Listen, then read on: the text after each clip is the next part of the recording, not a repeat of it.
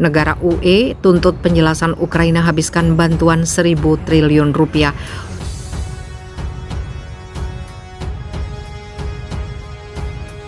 We understand how much they suffer, but I'm speaking here as a politician who should save lives. So the most important thing for the international political communities to save lives, especially when you are convinced, as I do, that there is no chance to win this war.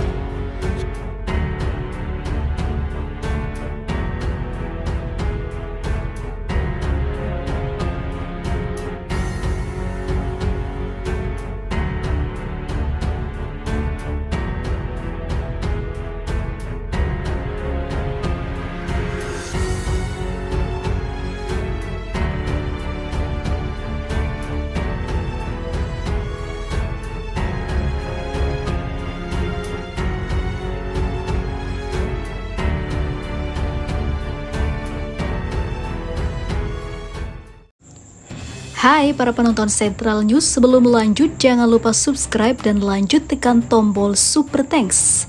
Tombol Super Thanks ada di atas tombol subscribe. Jika Anda ingin mensupport channel kami menyajikan berita yang paling Anda tunggu-tunggu. Terima kasih.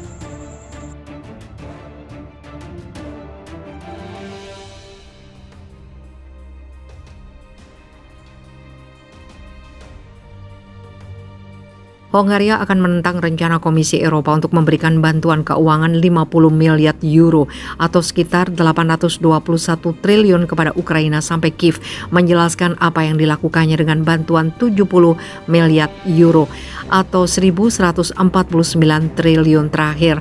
Hal ini diungkap Perdana Menteri Hongaria Viktor Orban. Budapest dan Brussel telah berulang kali berselisih tentang pasokan uang tunai dan senjata ke Ukraina.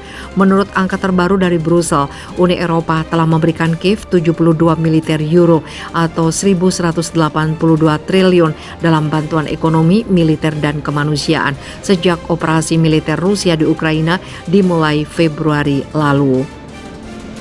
Meskipun arus keluar yang belum pernah terjadi sebelumnya menguras pundi-pundinya, Komisi Eropa mengumumkan awal bulan ini bahwa mereka akan menawarkan pinjaman dan hibah 50 miliar euro tambahan kepada Kiev. Satu hal yang jelas, kami orang Hongaria tidak akan memberikan lebih banyak uang ke Ukraina sampai mereka mengatakan ke mana dana sebelumnya yang bernilai sekitar 70 miliar euro telah hilang, kata Orban kepada Radio Hongaria menurut laporan Reuters yang dinukil dari RT.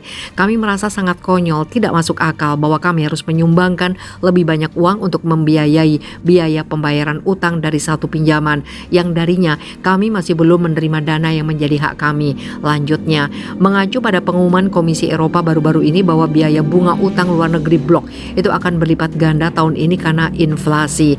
Komisi Eropa saat ini menolak Hongaria dan Polandia mengakses dana pemulihan pasca coronavirus karena perbedaan ideologis dan pemerintahan konservatif mereka mereka. Presiden Komisi Eropa Ursula von der Leyen mengakui tahun lalu bahwa pemotongan dana adalah salah satu dari beberapa alat yang dapat digunakan Brussel untuk memaksa negara anggota agar bekerja sama. Hongaria memblokir paket bantuan keuangan 18 miliar euro untuk Ukraina tahun lalu sampai Brussel membebaskan sejumlah dana terpisah yang ditahan dari Budapest. Baru-baru ini pada hari Senin, Menteri Luar Negeri Hongaria Peter Zizarto menyatakan bahwa Hongaria akan memperpanjang hak vetonya untuk satu bulan lagi atas paket senjata 500 juta euro dari dana umum senjata Uni Eropa untuk Ukraina. Orban dan Jarto berulang kali menyerukan gencatan senjata segera dan pembicaraan damai di Ukraina. Awal pekan ini Orban menjelaskan bahwa kemenangan Ukraina di medan perang tidak mungkin tanpa gencatan senjata. Segera serta diakhirinya pengiriman senjata barat Ukraina akan kehilangan sejumlah besar kekayaan dan banyak nyawa serta kehancuran yang tidak terbayangkan akan terjadi niat serang pasukan Rusia 6 roket Mamarika malah menyerang tentaranya sendiri dan jadi rongsokan. Waduh, ternyata tidak secanggih itu.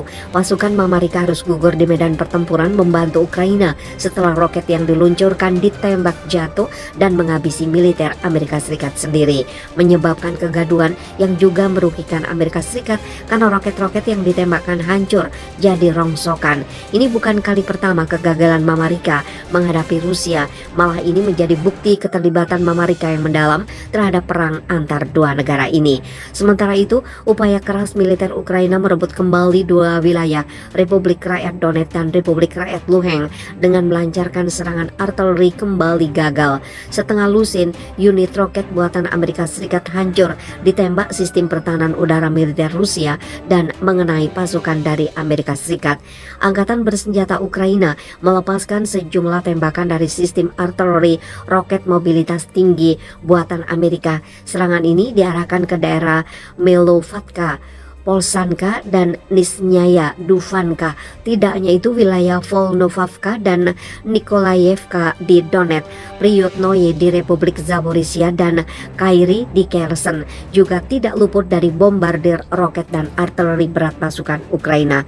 Dilansir Viva Militer dari kantor berita Rusia TASS, enam roket HIMARS ditembak jatuh oleh pesawat tanpa awak atau drone. Tidak hanya HIMARS, 8 unit roket dari sistem peluncuran multi roket BM-27 Uragan juga jadi rongsokan Delibas drone militer Rusia. Informasi ini diungkap langsung oleh juru bicara Kementerian Pertahanan Rusia, Letnan Jenderal Igor Konazenkov dalam 24 jam terakhir. Kemampuan pertahanan udara menembak jatuh 8 kendaraan udara tidak berawak Ukraina di wilayah pemukiman Melovatka. Polsanka dan Nitsnyaya Dufanka di Republik Rakyat Luhansk, Volnovavka dan Nikolaevka di Republik Rakyat Donetsk, Priyutnoye di wilayah Zaporizhia dan Kairi di wilayah Kherson, ujar Konazenkov. Sistem peluncuran roket ganda uragan di daerah dekat komunitas Slatkoye dan Debalzevo di Republik Rakyat Donetsk, Kreminaya di Republik Rakyat Lugansk dan Yubimovka di wilayah Zaboroye katanya. Sementara itu serangan militer Ukraina dengan 4 unit rudal HAM juga gagal. Senjata yang juga buatan Amerika ini hancur lebur di wilayah Belgorod. 56 unit artileri Ukraina di 139 titik berhasil dieliminasi dalam sehari terakhir. Di wilayah udara wilayah Belgorod, 4 rudal anti radar HAM Amerika ditembak jatuh. Serangan itu menghancurkan 56 unit artileri Ukraina di posisi tembak, tenaga kerja dan peralatan militer di 139 area, ucap Konazenkov.